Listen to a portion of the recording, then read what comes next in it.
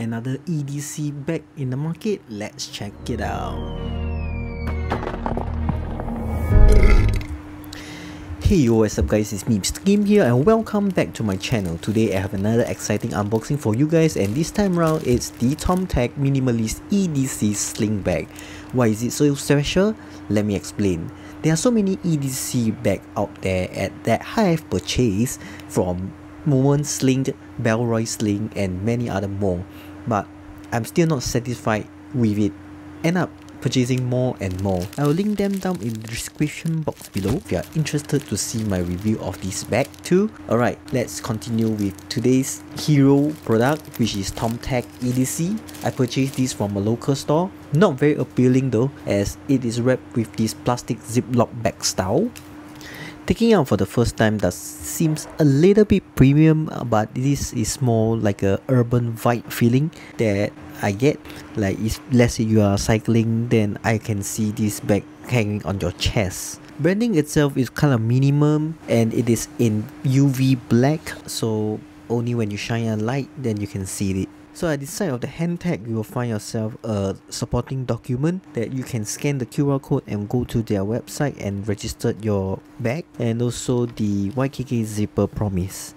So right now we're going to check each compartment and let's check the first layer which is the two-third front of the pocket. First you will find a red indicated key clip lanyard which you can place your key and inside the area you will find two inner split pocket that is divided straight in the middle that I believe you can put your means, your airport or any other small accessories even down to your wallet itself. Now let's look at the main compartment itself and it is divided into two sections, one being the most spacious and behind I believe it's just for you to put some gadget stuff such as your NDS and it's also divided into two smaller pocket on the middle and that's where you can place your extra batteries or your means over there. And last but not least at right at the back you will see a hidden compartment zipper.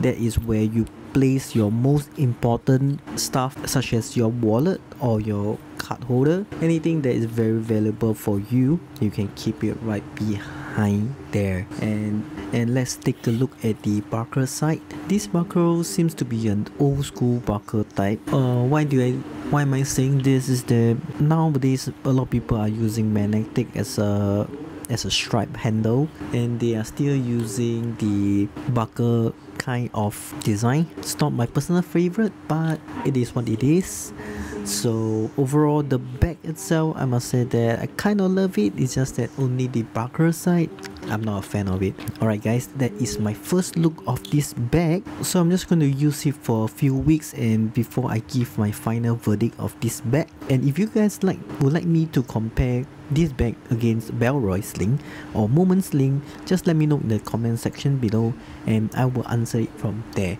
Alright guys, that is it for my video. If you find this video interesting, make sure you slap a like button, subscribe if you haven't already, and I will see you in my next video. Okay, thanks, bye!